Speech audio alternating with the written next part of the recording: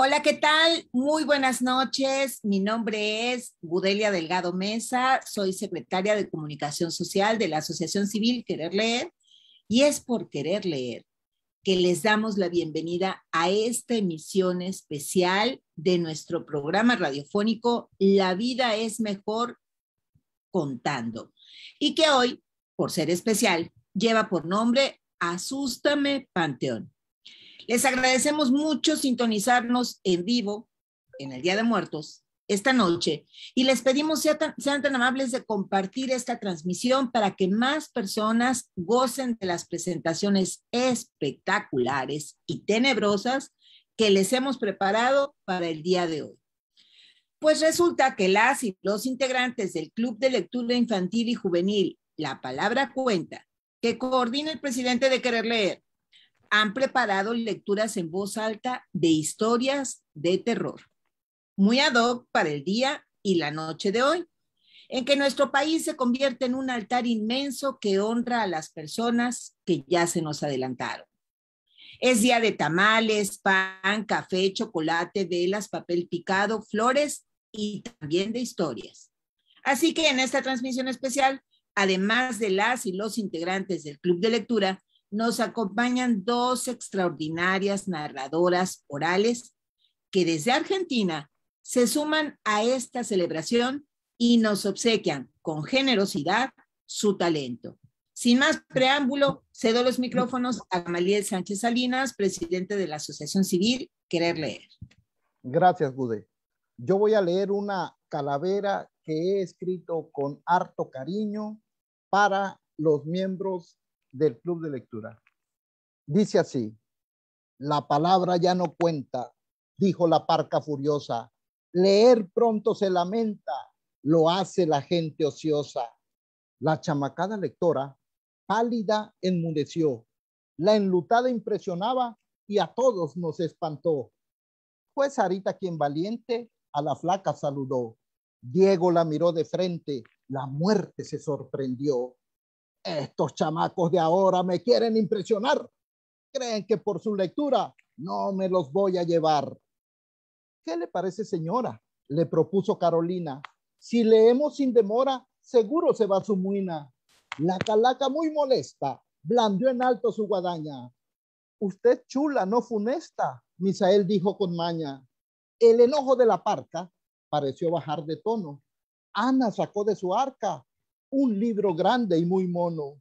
No me leas, no me gusta, volvió la parca su enojo. Un café le ofrece Nadia con pan para su remojo. Más calmada la calaca, a abrir le preguntó si sus rizos son de marca o menjurjes les echó. A Gabo le dio mucha risa, la muerte se enfureció y con la fuerza de la brisa del pescuezo lo jaló. No se lo lleve Katrina. Lía por él abogó. Es muy joven todavía. Búsquese a uno ya mayor. La muerte miró a un lado y ahí se encontraba él, pobre, feo y acabado, el maestro Gamaliel. Lo jaló con su guadaña y al se lo llevó. Ahí no vale su maña, ya la parca lo domó. En los fines de semana, Gama amanece cantando. Feliz, dice a la calaca, la vida es mejor contando.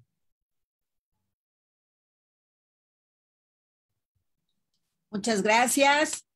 Y a continuación vamos a, a, presentar a nuestra primera invitada que, como les decíamos en un principio, desde Argentina nos trae su talento para la narración oral. Ella es Marta Elisa Sachi, docente de todos los niveles de enseñanza. Tuvo una formación integral en el arte de la narración oral en la Escuela de Escritura y Oralidad en Buenos Aires, especializándose en el cuento oral, leer y contar para niños y cuentos para la salud. Intervino en cursos, talleres y seminarios. Fue invitada a participar en encuentros nacionales e internacionales de narración. Presentó espectáculos en teatros, escuelas y hogares participó en programas radiales de interés cultural y hoy es un honor tenerla aquí. Te escuchamos, Marta. Bueno, buenas noches a todos. Eh, es la verdad que es una alegría estar nuevamente aquí. Y ahora que me presentaron a todos esos niños con más, este, con más impulso y con más ganas, porque de verdad eh, están dedicados a ellos. Así que gracias, gracias por esto y bueno, y, y empezamos. Porque esto que les voy a contar no lo van a creer, poder creer, pero sí aconteció. ¿Y saben por qué? Porque me aconteció a mí. Sí, yo tenía la edad de todos ustedes. Iba a la escuela. Era una escuela antigua, grande, de techos altos, de pisos de madera que cuando, cuando caminábamos crujía. En el patio central era el patio de recreo y alrededor había una galería. Y detrás de eso una zona, una zona que no nos permitían ir. Decían que había una escalera y que estaba prohibido subir. ¿Pero qué era? ¿Qué era lo que, lo que nos prohibían? ¿Por qué? Entonces, con mucha curiosidad, mi amiga y yo armamos un plan esperamos el recreo. En medio del bullicio y de la alegría y de los cantos y de todo, nos escabullíamos. Íbamos y veníamos tratando de llegar al lugar donde estaba la escalera. Mirábamos y sorteábamos las miradas que nos hacían. Pero nos escondimos atrás de una puerta, porque vimos venir allá, de allá, una maestra Venía directamente hacia nosotros. Nos podía haber visto. Pero ella se paró y de repente giró y fue para otro lado. Entonces nosotros rápido entramos y allí estaba la escalera con un barandal ancho, desgastado y escalones donde estaban rotos, despintados empezamos a subirla de puntitas. Uno, otro, uno, otro, hasta que llegamos arriba. Cuando llegamos había una puerta, una puerta rota, una puerta vencida. Y con un poco de temor pusimos la mano y, y la empujamos. La puerta se dio, se abrió y se cayó porque se rompió la cerradura. Entramos. Todo era polvo.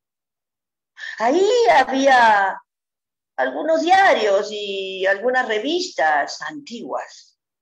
Ahí había bolsas, madera, papeles, Allá una pequeñita ventana que apenas entraba la luz e iluminaba. Y abajo de ella una mesa. Nos acercamos, sentíamos que la caja que estaba sobre la mesa nos llamaba. Y nos acercamos. Empezamos a a levantar la tapa, despacio, despacio, despacito. Y de repente, ¡pum! Saltó, saltó un antebrazo y una mano huesuda. Era como un resorte que se había levantado así. Y acá tenía una araña que asustada empezó a correr. ¡Ay! Cucarachas empezaron a salir de esa caja desparramándose por toda la mesa. No podíamos verlo, creer lo que estábamos viendo. Desde la caja, con una rotura acá, un cráneo. Desde los orificios, sin ojos, nos miraba. Y tenía una, la mandíbula con solo dos dientes. estábamos aterradas. Y hueso, hueso, hueso, hueso, nada más que hueso, y cucarachas que iban y venían, y alguna hormiga. En el momento mismo que estábamos tratando de lograr la respiración, nos pasó sobre los pies una rata. ¡Oh! No pudimos más. Las rodillas no nos respondían. Pero salimos, salimos corriendo como pudimos. Pero no vayan a pensarse que bajamos escalón por escalón. No, nos sentamos en el barandal. La falda, la tela de la falda de nuestro uniforme nos sirvió de patineta.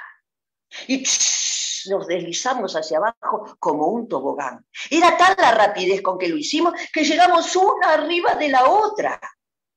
Ahí en el piso, en el instante en que escuchamos el timbre del recreo. Nos levantamos y, empezamos a sacudirnos y, y salimos al recreo con, con cara de, ¿qué pasa? Yo no fui y nos fuimos al aula.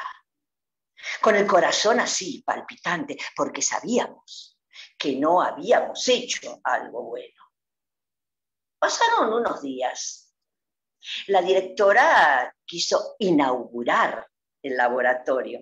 Estaba contenta porque era un, era un crecimiento para la escuela. Invitaron a los padres, otras autoridades, otras docentes. Y cada curso nuestro tenía que ir pasar y entrar en el laboratorio para conocerlo. Cuando nos tocó a nosotros, lo vi. Detrás de la puerta, allí, altivo, tomado de acá, desde el cráneo, con un gancho, colgaba el esqueleto estaba totalmente articulado y se movía. Y con las manos así era como que nos señalaba, mostrando que algo nosotros teníamos un secreto. Porque los huesos, los huesos eran los mismos que habíamos visto en la caja. Escuchamos que el pie también en su movimiento golpeaba el piso. Y las mandíbulas las mandíbulas nos miraban así, con una, con una sonrisa sarcástica. No tenía dos dientes, tenía todos, porque se ve que se lo habían colocado. Estábamos paralizadas, tan paralizadas que no podíamos creerlo. Y él seguía así, articulado, mostrándonos, moviéndose. Cuando terminó la visita, nos fuimos al aula. Nunca contamos lo que nos había pasado. Pero ¿saben qué sucedió? Pasó el tiempo. Yo fui maestra de esa escuela y obviaba bastante pasar delante del laboratorio del terror, como lo habíamos llamado cuando éramos niños. Pero más de una vez me ponía así para mirar y lo veía. Lo veía que seguía con el dedo y que seguía con esa mandíbula y esa sonrisa sarcástica. Y me siguió corriendo un frío por la espalda como cuando yo era niña y me había pasado eso.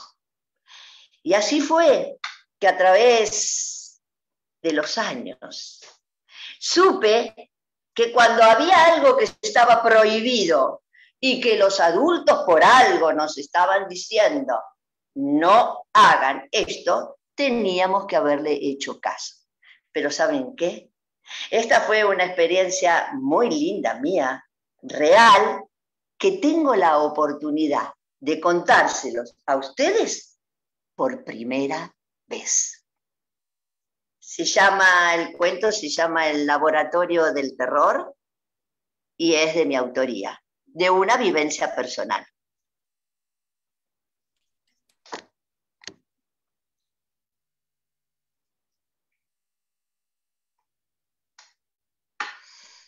Bien, viene a continuación a contarnos una historia terrible, Nadia, quien desde Jalpa nos leerá. Adelante, Nadia, te escuchamos.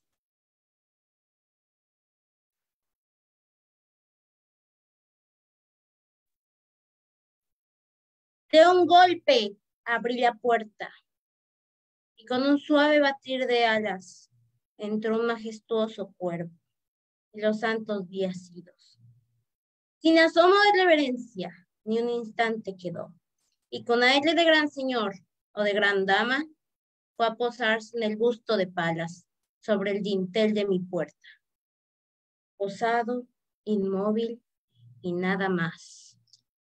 Entonces, este pájaro de ébano cambió mis tristes fantasías en una sonrisa, con el grave y severo decoro del aspecto de que se le vestía.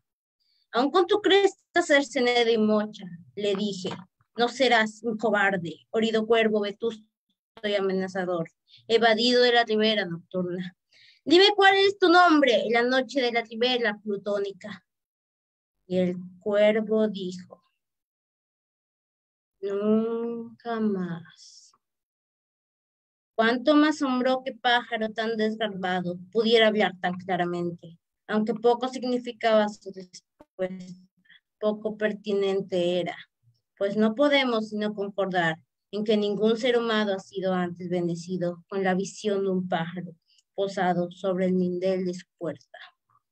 Pájaro bestia posado en el busto esculpido de palas en el nindel de su puerta con semejante nombre, nunca más.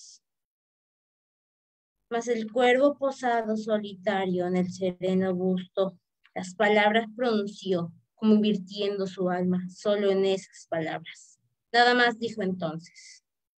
No movió ni una pluma. Entonces yo me dije, apenas murmurando, otros amigos se han ido antes. Mañana Él también me dejará, me abandonaron mis esperanzas. Y entonces dijo el pájaro, nunca más. Sobrecogido a romper el silencio, tan idóneas palabras. Sin duda pensé, sin duda lo que dice es todo lo que sabe. Su solo repertorio aprendido de un amo infortunado, quien desastrimpió persiguió, acosó sin dar tregua, hasta que su cantinela solo tuvo un sentido, hasta que las endechas de su esperanza llevaron solo a esa carga melancólica de nunca, nunca más. Fragmento del poema El cuerpo de Edgar Allan Poe.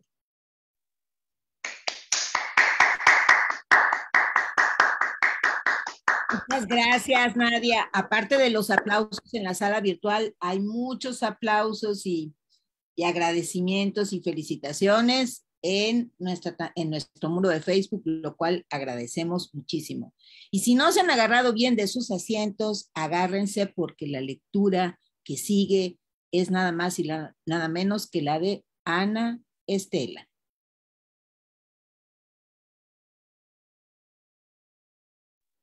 Cuenta la leyenda que existió un viejo llamado Jesús Flores que se había casado con Ana, una hermosa joven, quien para casarse le exigió que la casa fuera de dos pisos y además mandó a traer dos esculturas de perros de, de Nueva York para decorar la casa. Don Jesús creyó ser afortunado por conseguir como esposa a Ana, pero años más tarde esta historia de amor se convertiría en una de terror. Después de casarse, la desigual pareja viajó en barco por Europa. El barco estuvo a punto de naufragar, por lo que hicieron una promesa. Aquel que sobreviviera rezaría por el otro que muriera cada aniversario luctuoso. Por fortuna, los dos esposos sobrevivieron. Se dice que mientras Ana presumía de ser una intachable esposa, A escondidas tenía sus amoríos con José, quien en ese entonces trabajaba para don Jesús. Luego llegó la hora de Jesús para encontrarse con la muerte, acontecimiento que aprovechó Ana para casarse con su amante, abandonando la casa y olvidando la promesa que le había hecho a su difunto marido. No pasó mucho tiempo antes de que sucesos paranormales comenzaran a plagar la casa. Sombras en las ventanas y ruidos en las paredes. La leyenda dice que quien logre rezar el novenario completo recibirá las escrituras de la famosa Casa de los Perros. El requisito no es sencillo. El interesado debe ir al panteón solo a las 12 de la noche, a la tumba donde descansan los restos del difunto e iluminarse con una sola vela. Muchos valientes lo han intentado, pero ninguno ha logrado terminar de rezar el novenario por lo que actualmente esta casa es propiedad del gobierno de Guadalajara. Mas la gente teme quedarse trabajando en esa casa hasta bien tarde, pues la leyenda dice que los sucesos paranormales continúan hasta el día de hoy. Esta fue la leyenda del fantasma de la casa de los perros por Daniel Eduardo Ramos Razo. Muchas gracias, Anita.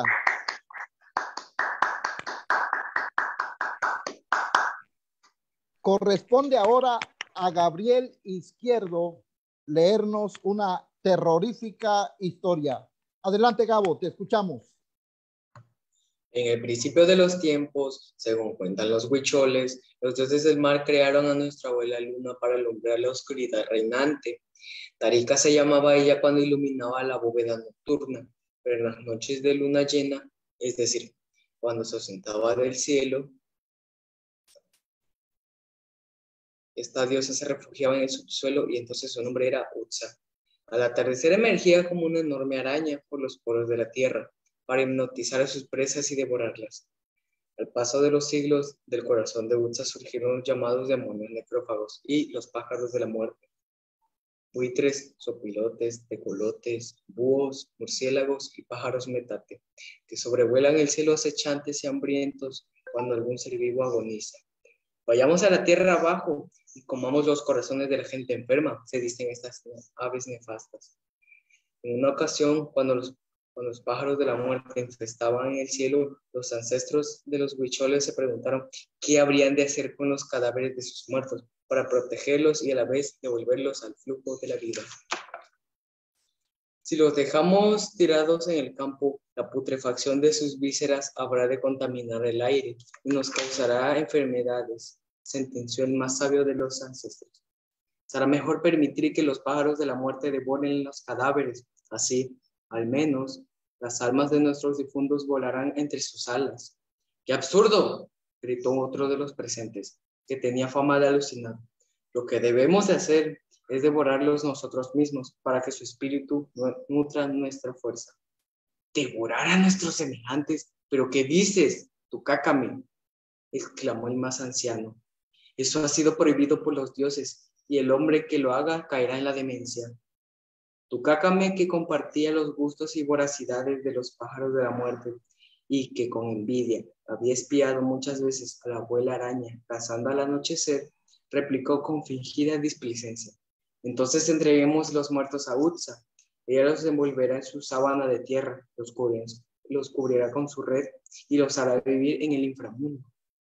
Los ancestros tuvieron que admitir que aquella no era una mala idea, así que eligieron una zona aledaña al cerro quemado, donde enterraron sus difuntos uno tras otro, mes tras mes, año tras año.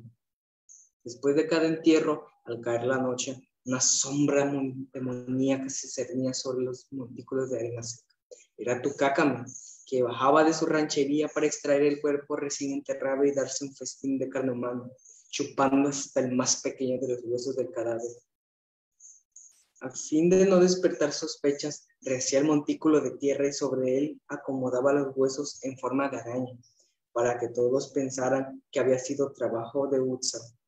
En cada ocasión, sin embargo, guardaba para sí uno de los huesos y lo colgaba de su cinturón como un pequeño trofeo. Los dioses escandalizados con este comportamiento enviaron al niño héroe Kaumali a pintar sobre el rostro de Tucacame, mientras dormía, una máscara espeluznante que delatara su maldad ante cualquiera que lo mirase. Por eso, y porque su sucio cuerpo mostraba manchas de sangre coagulada proveniente de todos los cadáveres que se había comido. Tucacame no se dejaba ver durante el día, ni frecuentaba ninguno de los pueblos cercanos. Más bien, permanecía oculto en su propiedad hasta la hora de bajar al cementerio. Su afición por la carne muerta había ido creciendo con los años y luego llegó el momento en que los muertos de cada día ya no eran suficientes para saciar su apetito. Fue entonces cuando, desesperado, devoró la carne de todos los animales de su rancho, perros, gallinas, cerdos y ratas, dejándolos vivos como simples esqueletos ambulantes. Y cuando terminó con esas provisiones, se vio la necesidad de inventar otras estrategias para saciar su hambre caníbal. De vez en cuando, algún viajero despistado pasaba cerca de su rancho Tucacame se apresuraba a ofrecerles hospitalidad, invitándola a sentarse en uno de sus banquitos mágicos para reposar y comer. Pero el viajero, viajero se quedaba pegado al banco y al cabo de unos días moría de hambre y de sed. Tucacame destazaba entonces el cuerpo del viajero y colgaba sus entrañas frescas en los árboles secos del rancho, hasta que éstas se pudrían, apestando la atmósfera. Cómo se relamía luego con esas esos majares repugnantes. A oídos de todos llegaron rumores sobre lo que sucedía en la ranchería de Tucácame, y estos rumores se convirtieron en una leyenda que aterrorizó a la gente de los pueblos por generaciones, convirtiendo a Tucácame en el más temido de los personajes de Choles. Aún ahora hay quienes escuchan al anochecer el escalofriante ruido de maracas que producen los huesos que llevan colgados, y hay también quienes ven la cadavérica figura de este demonio con su máscara y sus alas negras de sopilote, rondando sus alucinaciones y sueños.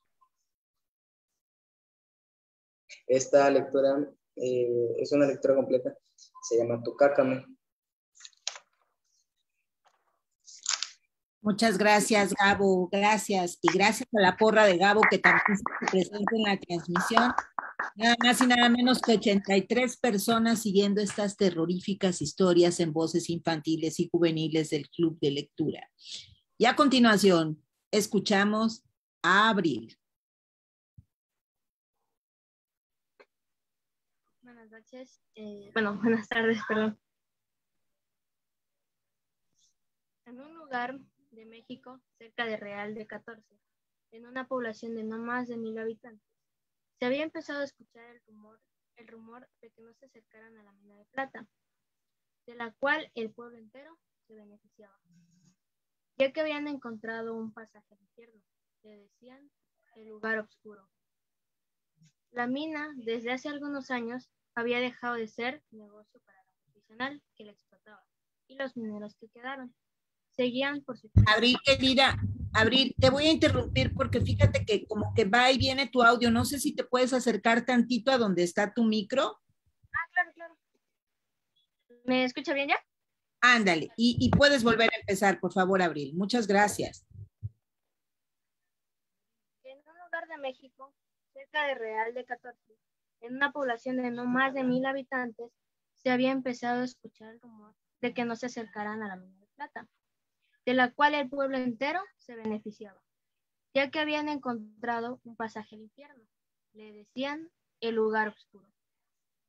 La mina, desde hace algunos años, había dejado de ser negocio para el profesional que la explotaba, y los mineros que quedaron seguían por su cuenta, con el permiso de la minera. Pero desde que apareció el túnel, el túnel al que lejos se escuchaban lamentos, muchas familias habían dejado la región se decía que era el mismo infierno, lo que se escuchaba en el lugar.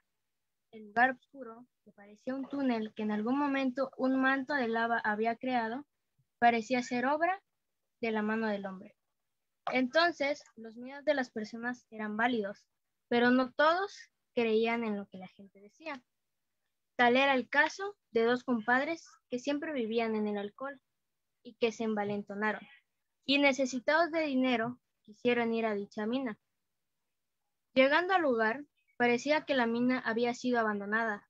Todas las herramientas quedaron en el piso. Parecía que las personas habían salido corriendo y ni los utensilios de trabajo se habían llevado.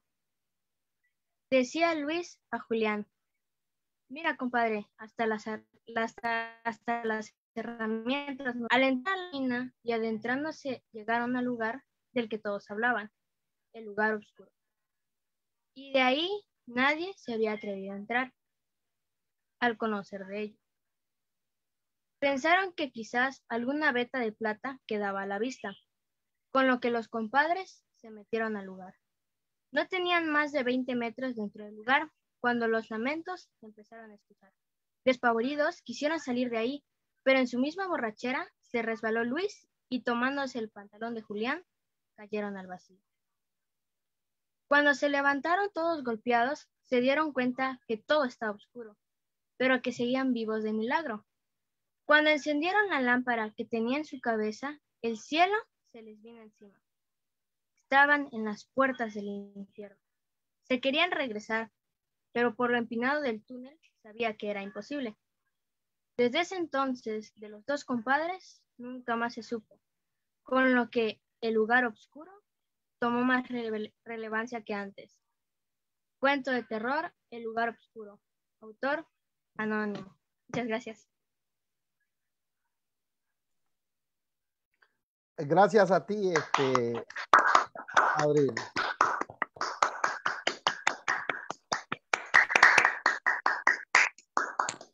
Bien, me toca presentar al más pequeño de los integrantes del club. Él es Diego, quien nos trae una lectura harto asustante. Diego, te escuchamos. Gracias. Hay una carretera que va de Puebla a Veracruz, la cual es oscura y sin visibilidad por las noches. Incluso dicen que cuando llueve, bajo tanto la neblina que no permite ver absolutamente nada, ni siquiera los bordes de esta. Y es precisamente este lugar donde aconteció la siguiente historia. El tío de un viejo amigo cuenta esa historia con tal sentimiento que contagia hasta el más duro de corazón. Se le llenan de lágrimas los ojos. Incluso hay quienes han abandonado la sala antes del final por la pena de verlo llorar. Esa noche del 1 de noviembre de 1995, justo al doblar en aquella solitaria carretera, ni una sola estación dijo con molestia al no poder sintonizar su radio. No podía presumir que se dirigía a gran velocidad a Veracruz, ya que los pronósticos anunciaban mal tiempo, aunque apenas la brisnita se dejaba sentir y todavía había un poco de luz, no se atrevía a pisar más el acelerador. Después de todo llegaría a dormir a Orizaba. Al llegar a la curva conocida como peligrosa, alcanza a ver a un niño en mitad de la carretera, frena rechinando llantas y todo. ¿Pero qué le pasa a este mocoso? dice con furia el señor, quien solo alcanzó a mirar al escuincle correr hacia la orilla perdiéndose entre los árboles. No puede tener más de cinco años, piensa, pero este me la paga. Mira que estar atravesándose así en esta carretera, como si no fuera difícil transitarla. Se detiene en el acontecimiento y trepa con trabajos una colina. Al tropezarse con una piedra, su coraje aumenta. Mira qué hacerme esto, pero ya verá, continuaba pensando. Mientras se agachaba para asomarse cuando levanta la cabeza, mira al niño justo enfrente de él. Recuerda que era muy moreno, llevaba consigo solo una camiseta azul y en su mano derecha llevaba consigo un muñequito. El tío intenta gritarle, o por lo menos decirle una grosería, ya que su imprudencia no había sido para menos.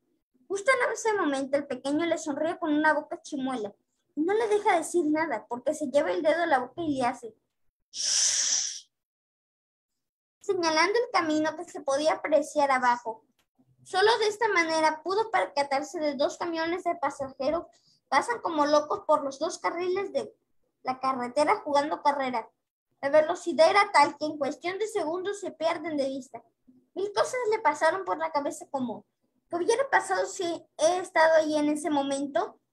Después de unos segundos, el tío recuerda al niño, claro, ahora era quien le salvaba la vida. Si el niño no estuviera atravesando quizá ahora pensó. Enseguida se volvió hacia donde estaba el pequeño. Y en ese momento, cuando nota que el niño ya no estaba, ni el ruido del viento, ni una casa, nada, absolutamente nada, solo la oscuridad del monte, concluye su historia sin poder explicar de dónde salió aquel pequeño. Incluso hay quienes afirman que todavía en esa carretera, si uno transcurre con el auto sucio, puede percatarse al llegar a Orizaba que unas huellas de manos pequeñas han puesto su recuerdo. Cuento El aviso, de cuentos mexicanos de terror. Gracias.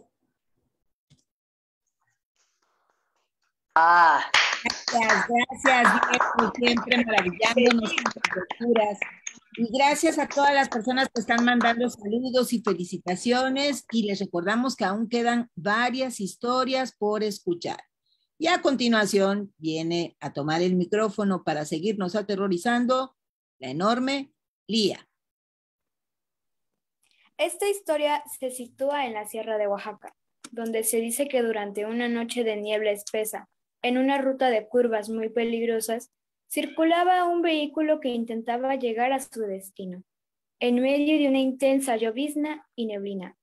Era tanta la neblina que había que solo se podían ver pocos metros delante de los faros. El conductor iba conduciendo rápidamente a través del persistente de la lluvia, deseoso de llegar pronto a su morada. Tras un largo fin de semana de trabajo, cuando en una de las curvas vio a una joven que, que pidiendo que la acercaran a un sitio. Se trataba de una joven rubia, muy demacrada y pálida, que obviamente estaba empapada por la lluvia y que solo vestía un vestido blanco, desgarrado y lleno de lodo. El hombre se apiadó de la situación y tras subirla al auto decidió llevarla al pueblo más cercano. Durante el trayecto, el hombre y la joven fueron hablando de cosas insignificantes, hasta que un momento la joven dijo que bajaran la velocidad, porque se acercaban a una curva muy peligrosa. El conductor hizo caso y comprobó, asustado, que de no haber sido aconsejado hubiera terminado en el fondo del barranco. El hombre le agradeció a la joven y la joven le dijo, no me lo agradezcas, es mi misión. En esa curva me maté yo hace más de 25 años en una noche como esta. Tras esas palabras, la joven simplemente se desvaneció, dejando como única prueba de su existencia el asiento mojado. Título, La muchacha de la carretera. Autora, Laura Reina. Gracias.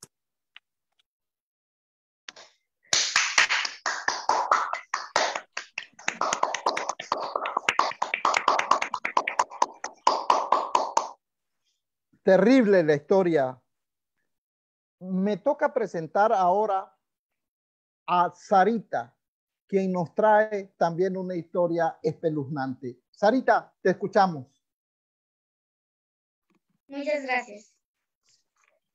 Una de esas noches me quedé trabajando hasta tarde en la computadora. Tocaron la puerta de mi casa. Abrí y una niña como de seis años apareció frente a la puerta. Con su ropita mojada me extendió el brazo y me pidió agua. Llevaba un vaso naranja de plástico. Le pregunté por su mamá. ¡Agua! repitió ella. Me asomé y vi sobre ambos lados del callejón. No había nadie. Tomé el vaso y fui a la cocina. Enjuagué y luego puse agua. Se lo di a la niña y le dije que ya se fuera a su casa para que ahí lo pudiera tomar. Las siguientes cuatro noches, a la misma hora, la misma niña y la misma petición. El fin de semana no estuve en casa, pero el lunes por la tarde, cuando barría la banqueta, me encontré a mis vecinos. Un matrimonio joven, y ella vive ahí desde que nació. Después del saludo, les pregunté por la niñita de ropa empapada, que pide agua por las noches. Se miraron extrañados. Me pidieron que la describiera. La describí. En sus cabras brillaba el asombro. Ella se metió a su casa y regresó con un álbum familiar. Lo abrió y mostró una foto. Eran dos niñas. En, en una de ellas descubrí a mi vecina de pequeña y con la otra, con horror, vi a la niña que me pedía agua.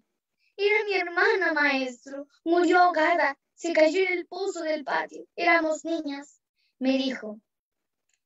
Esta es la leyenda de la niña del pozo, autor anónimo. Gracias. Gracias, muchas gracias, Anita. Gracias de nuevo a toda la gente que sigue nuestra transmisión. Gracias por los saludos y las felicitaciones que mandan a todas y todos los participantes que esta noche nos regalan terroríficas historias. Y a continuación, escuchamos a Misael.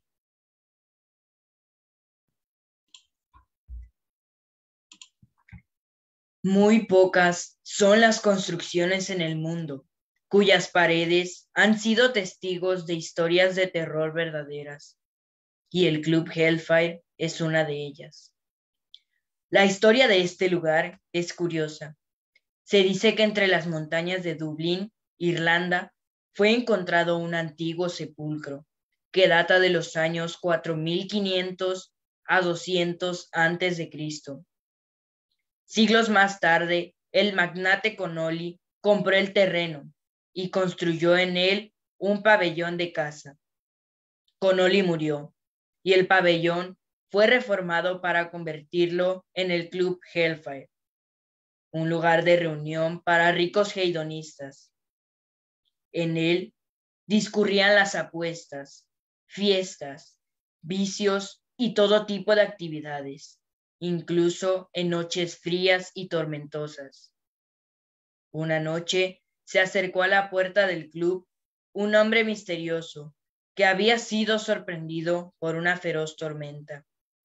El viajero contaba con el dinero suficiente para costear una partida de póker, para pasar el frío de la tormenta junto al calor de la fogata.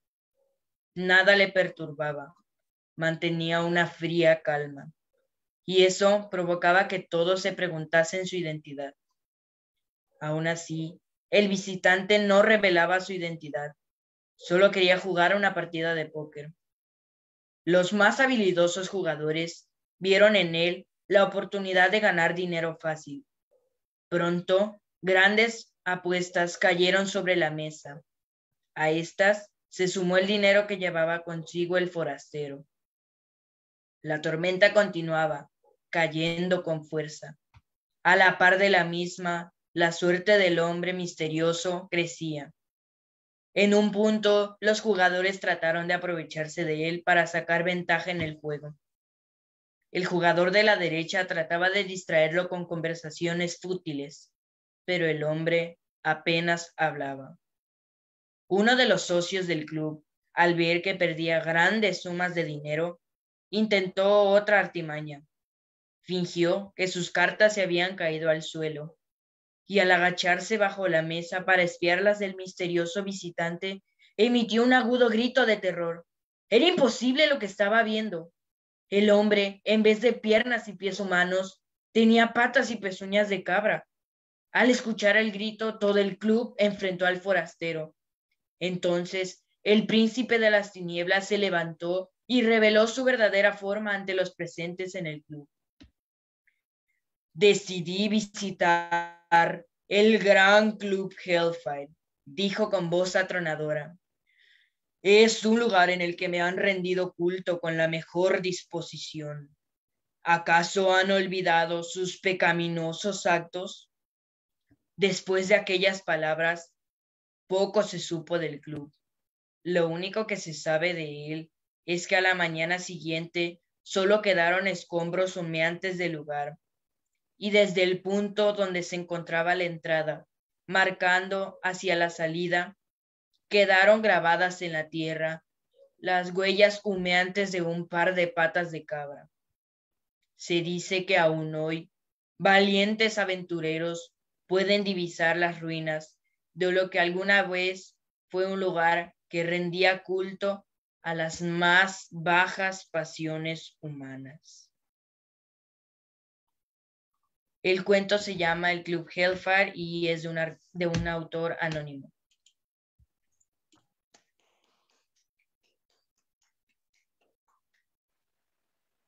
Excelente. Me corresponde ahora el honor de presentar a nuestra lectora. Ella es una, además de excelente lectora, una escritora deslumbrante. Carolina, te escuchamos.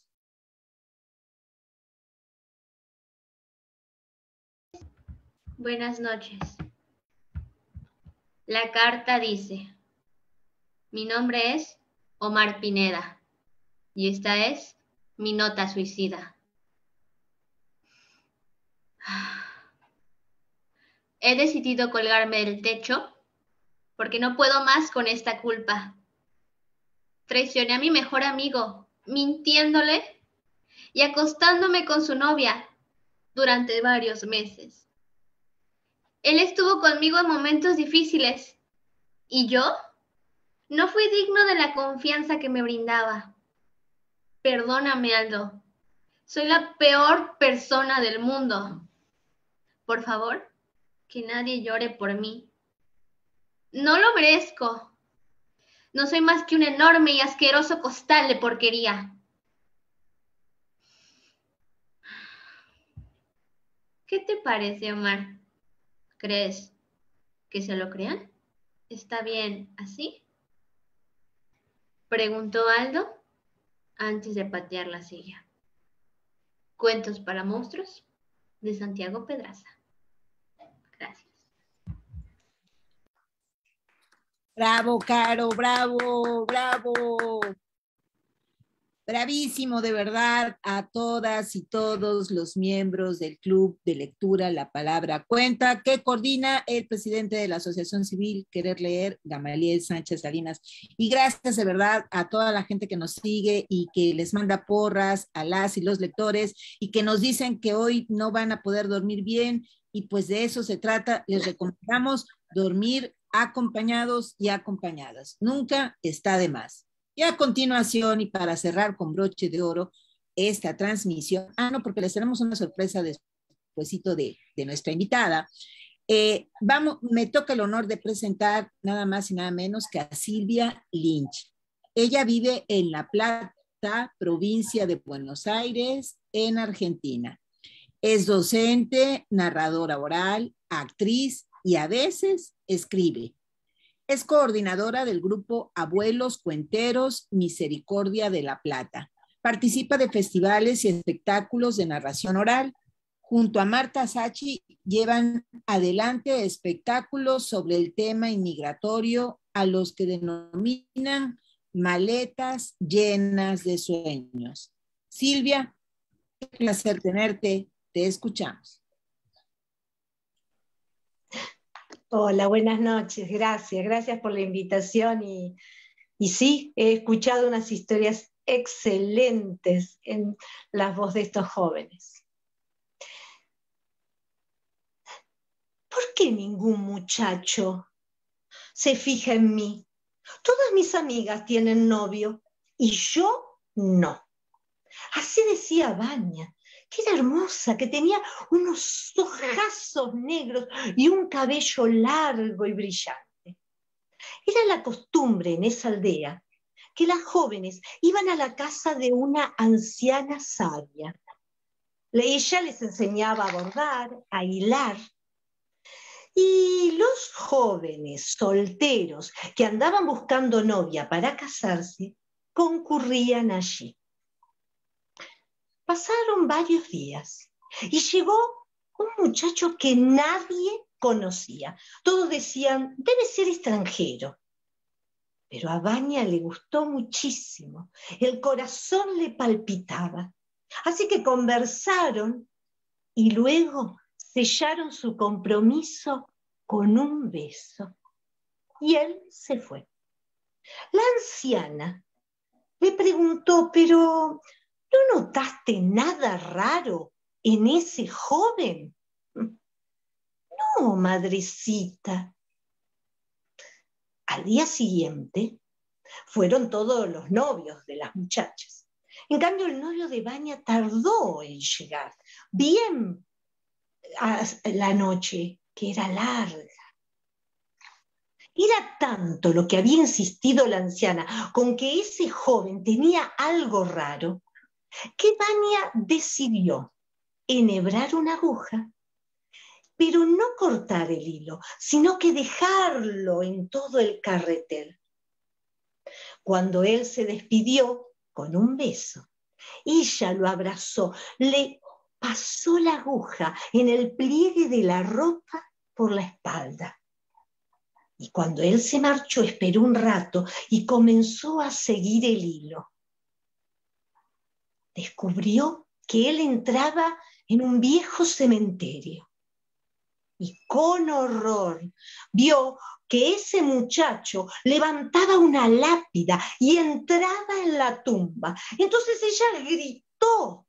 Él la oyó, pero ella se escabulló entre las sombras y fue enseguida a decirle a la anciana. Y la anciana le dijo, Él te va a buscar, va a procurar encontrarte, pero tú no le digas que sabes de su secreto. Lo que él diga o lo que haga, no importa.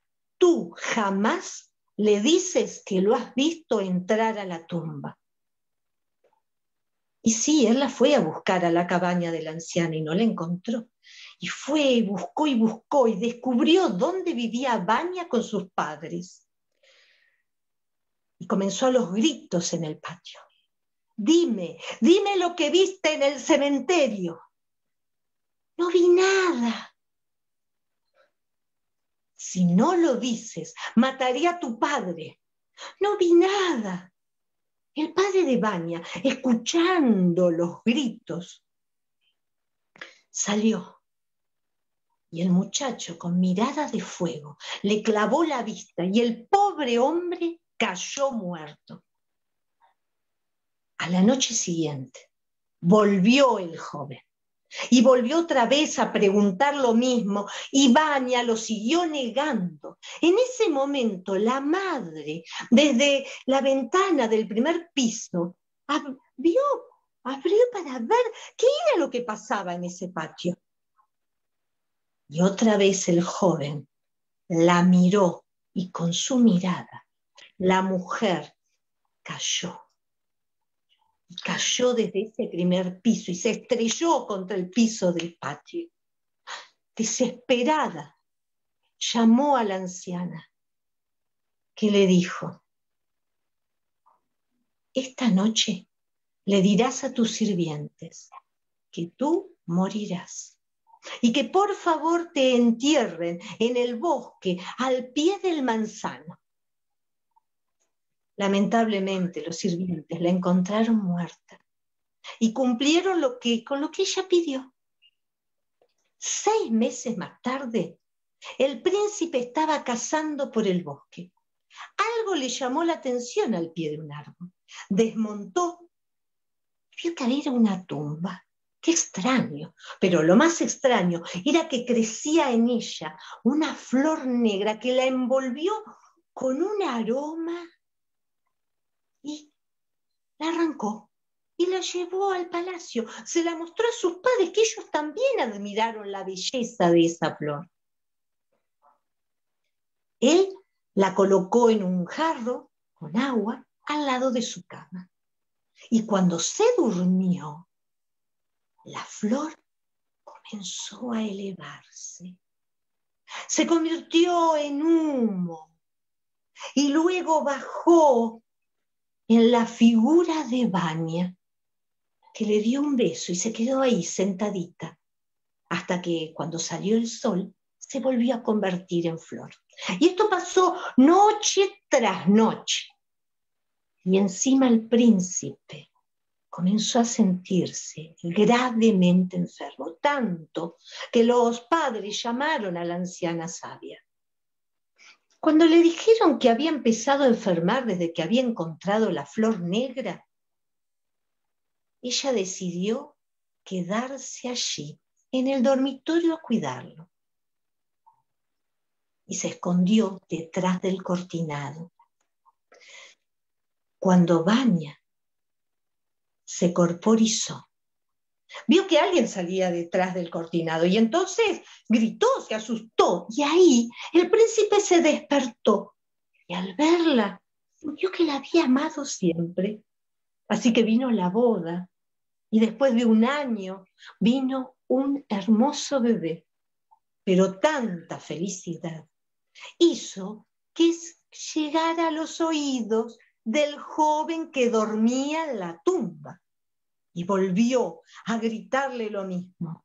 Dime, dime qué viste en el cementerio. No vi nada. Y ahí fue cuando la amenazó con matar a su pequeño.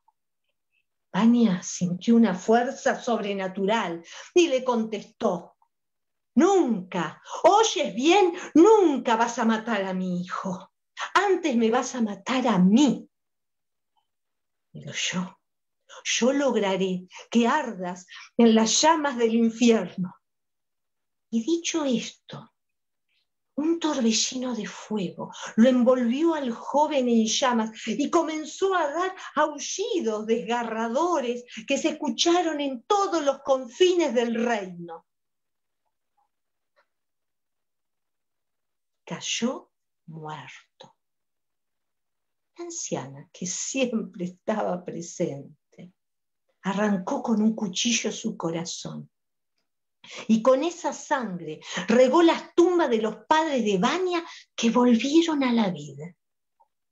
Y luego esparció las cenizas del joven por todo el bosque, vociferando un conjuro secreto.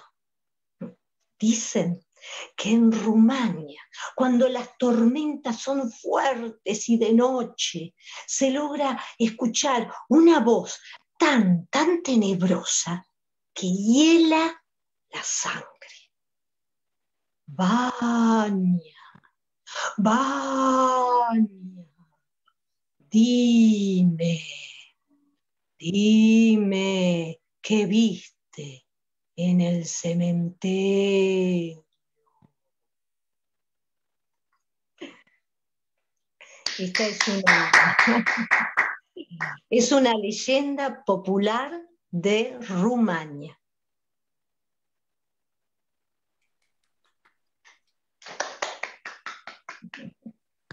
Excelente. Bueno, Carolina parece que nos trae una sorpresa para nuestras invitadas. Caro, escuchamos lo que has escrito para nuestras invitadas. Buenas noches, gracias profesor. He escrito unas calabritas literarias para nuestras invitadas con mucho cariño. Espero les guste. La Catrina con sus mejores galas del Camposanto salió para disfrutar con júbilo del programa Asústame Panteón. Grata fue su sorpresa al ver entre la concurrencia a dos narradoras argentinas que nos honran con su presencia. Agradezco a querer leer su atenta invitación. Desde ahora sintonizaré tan interesante estación. Complacida la Catrina, tomó asiento en primera fila para deleitarse con las historias que escucharía con alegría. Ah, pero antes de iniciar, muy seria exclamó. Historia que no cause temor, se irá conmigo al panteón. Muchas gracias. Qué precioso, qué precioso. Gracias, gracias. Gracias. Qué lindo, qué lindo, no, qué lindo. Qué talento, qué talento. Me encantó, me encantó. Muy, muy hermoso. Hermoso. Estaba el corazón puesto ahí, por eso era tan linda. Muchísimas gracias, muchas gracias, Caro, muchas gracias a todas y todos los que participaron. En esta emisión especial con nosotros de La vida es mejor contando. Y bueno, antes de irnos a la despedida eh, final, les agradecemos de verdad, son muchísimos, muchísimos los mensajes, los que hay en el Facebook. Ahí les vamos a pedir a las y los integrantes del club de lectura que se echen una asomada al terminar la transmisión para dar respuesta y comentar eh, a lo que allí les han expresado. Más de 300 mensajes están en nuestro Face. Muchísimas gracias de verdad por, este, por su atención y por compartir la transmisión. Y antes de despedirnos, voy a ceder los micrófonos a Gamaliel Sánchez Salinas, presidente de la Asociación Civil Querer Leer. Para despedirnos, como se debe, vamos a escuchar dos últimos relatos de nuestras invitadas. Iniciamos como en el mismo orden, Marta y Silvia. Marta, es tu turno. Bueno, después de, a ver, está, el micrófono, sí. Eh, después de escuchar eh, tan, tan, tan lindo poema con tanta emoción, la verdad que que estoy feliz, eh, feliz de estar acá. Y este es un caso de una vampira, pero es una vampira buena, tan buena que todo el mundo la quiere. Por eso vive eternamente. Va al cementerio siempre. Mira y visita a Francisco, que hace 830 años que murió a Remedios, que hace 560 años, a Carlos, que hace dos días. Y ella va contenta y los muertitos felices de verla. Pero Carolina tiene un problema. Es alérgica. Sí, alérgica a la sangre humana. Los padres estaban muy preocupados porque bueno, porque cada vez que le daban de beber eh, se hinchaba la cara y se le cortaba la respiración. Pero al poco tiempo, el papá de ella, caminando y queriendo conseguir sangre humana, vio que había un hombre que estaba haciendo un asado, pero le llamaba la atención el olor distinto que salía de esa parrilla. Y cuando se acercó, vio que estaba cocinando una morcilla, una maranga. La tomó y se la llevó a su casa. Y empezó a analizar a ver de qué forma estaba hecha, cómo la habían elaborado. Y se dio cuenta que estaba hecha con sangre de cochinito y que a ella no le hacía mal. Entonces, a partir de ahí, siempre toma y bebe esa sangre. Bueno, un día que ella fue a tantos días que ha ido y que en ese momento fue al cementerio, se desató una tormenta. Oh, rayos, truenos, se llenó el cielo de fuegos artificiales y ella estaba ahí, era una tormenta terrible y en tanta luz, en tanta luz se iluminó una tumba, justo la que estaba al lado de ella. Y la leyó Jerónimo Clemente. Empezó a pensar, que le resultaba conocido ese nombre. Y claro, imagínense, si ella, como era tan buena, vivía eternamente, más vale que conocía a todos los muertos que allí había. Pero no, no, no, no le salía. Entonces empezó, empezó a decir Jerónimo Clemente, Jerónimo Clemente, Jerónimo Clemente golpes de la tumba. Rápidamente fue a buscar una pala. Empezó a cavar, a cavar, a cavar y empezó a salir una mano y un hombro. Y después la otra mano y un hombro. Y después la cabeza despeinada. Está pálido. Y, los, los, agujeros de los ojos tiene, no tienen iris ni pupila ay, resucité a un muerto. Pero, pero ¿cómo si yo no, no, no soy hechicera? Formé un zombie.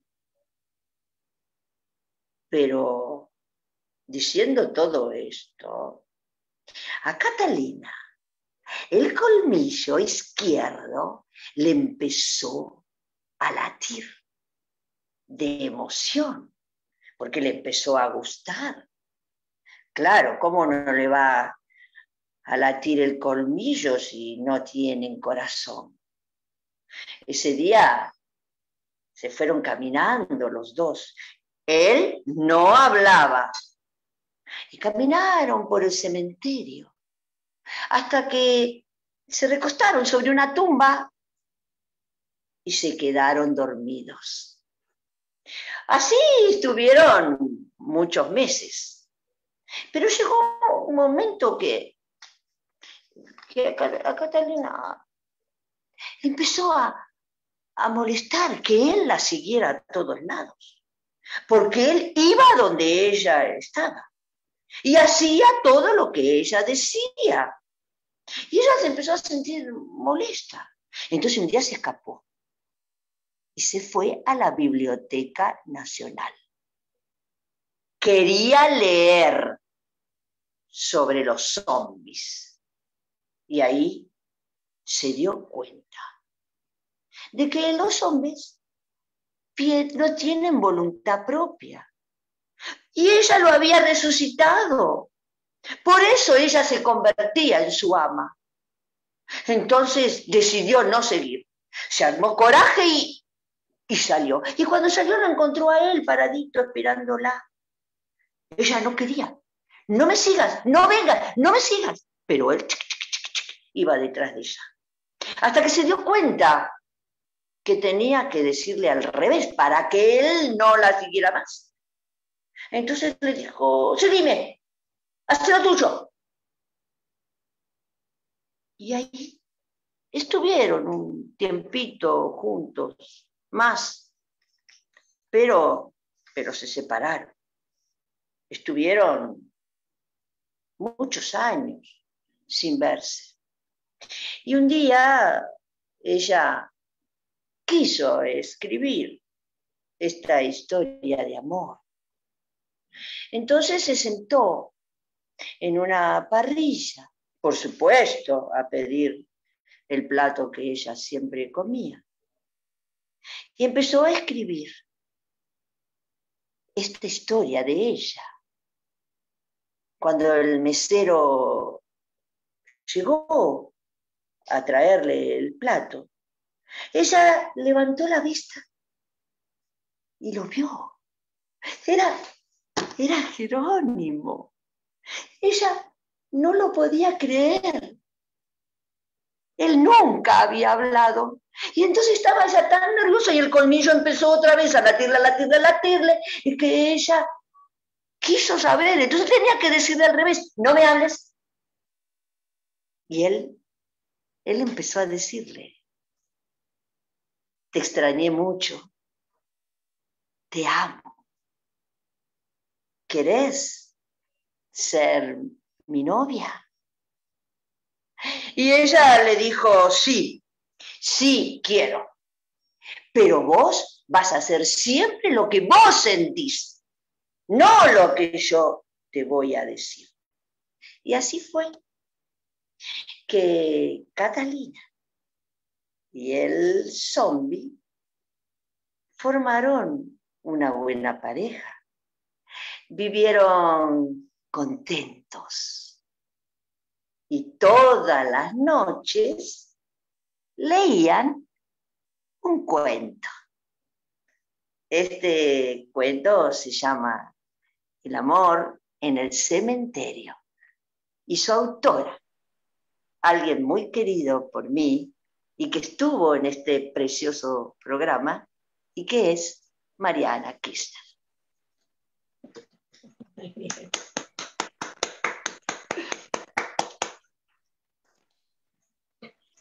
Escuchamos, Silvia. En la aldea de Ultar hay un decreto que dice, no se puede matar un gato. Sí, pero, ¿qué pasaba antes de que decidieran los diputados hacer ese decreto? En ese lugar había una pareja de viejos terribles, temibles, con una mirada siniestra, que vivían en una casa sucia detrás de unos árboles y al que todo el mundo les tenía miedo. Y se decía que esta gente raptaba a los gatos y los mataba. Nadie se atrevía a ir y rescatar al gato porque pensaban que les iban a hacer lo mismo a ellos.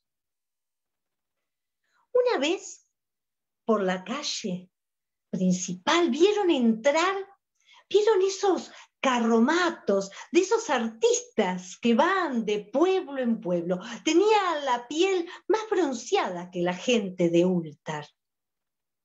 Lo raro de esos carromatos era que tenían dibujos de figuras humanas con cabezas de gatos. Esta gente hacía malabares, vendía algunas baratijas, leían las manos. En uno de los carromatos había un niño que había quedado huérfano y era cuidado por los demás artistas. Su único consuelo era un gatito negro a quien acariciaba todo el tiempo. Este jovencito se llamaba Menés. Pero al tercer día que estuvo ahí en el pueblo, el gatito desapareció. Y lloraba. Así que gente ahí del pueblo le contó a Menés de, de esos viejos que estaban en esa casucha y que seguramente se lo habrían robado y matado. Menés dejó de llorar. Elevó su mirada hacia el cielo y comenzó en un lenguaje extraño a hacer una extraña plegaria.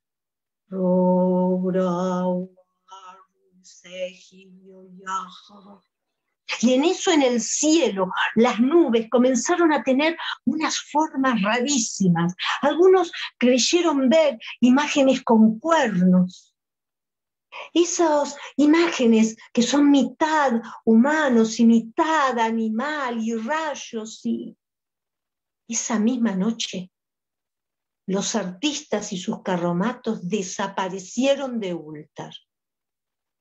Pero esa misma noche desaparecieron todos los gatos del pueblo.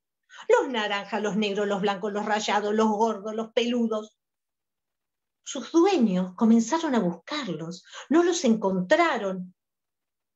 Y lo primero que pensó el alcalde es que en venganza estos artistas se habían llevado a todos los gatos de ese pueblo. Pero a la madrugada siguiente regresaron todos, los blancos, los negros, los rayados, los gordos, los peludos, rechonchos, lustrosos, ronroneando de satisfacción. Y cuando le quisieron alcanzar los platitos con leche o con el bofe, los gatos no lo aceptaron. Estuvieron como dos o tres días sin comer. Lo único que querían era dormir ahí al lado de la chimenea o de la estufa. A todo esto había pasado ya una semana y alguien comentó que los viejos esos siniestros, no habían ido a comprar mercadería al pueblo y que tampoco se veían luces en la casa. Así que el alcalde decidió ir. Se llevó a dos testigos, al panadero y al herrero.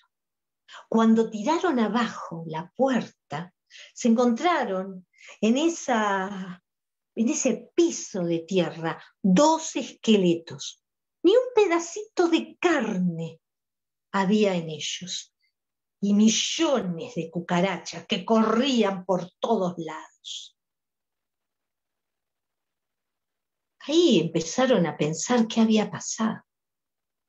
El ayudante del almacenero, un muchachito de unos 12 años, dijo que él esa noche había visto a todos los gatos armar un círculo alrededor de la casa y de filas de a dos, pero que nadie le había creído.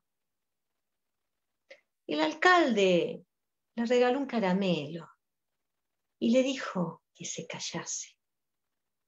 Pero de todas maneras, a partir de ese momento, se decretó la ley.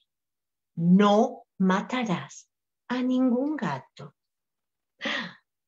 este cuento se llama Los gatos de Ultar y es de Lovecraft, un referente de las historias de terror.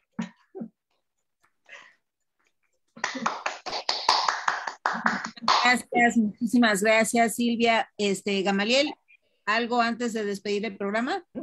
Claro que sí, agradecidísimos, agradecidísimas con la presencia, con el madrinaje que esta noche hicieron de los miembros del, del Club de Lectura y Escritura, Marta y Silvia.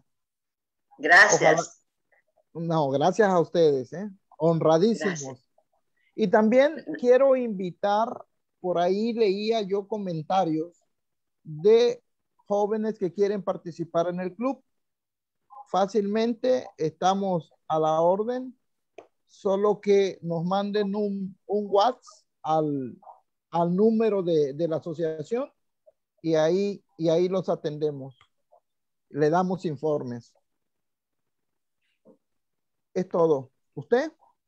Ok, ok. Muchísimas gracias, de verdad. De nuevo, gracias a todas las personas que siguieron la transmisión de principio a fin. Muchos aplausos. También por allí había un mensaje de, felicitaciones para las mamás, los papás, las tías, los tíos, los hermanos mayores, las hermanas mayores, todas las personas que están alrededor de estos lectores y estas lectoras.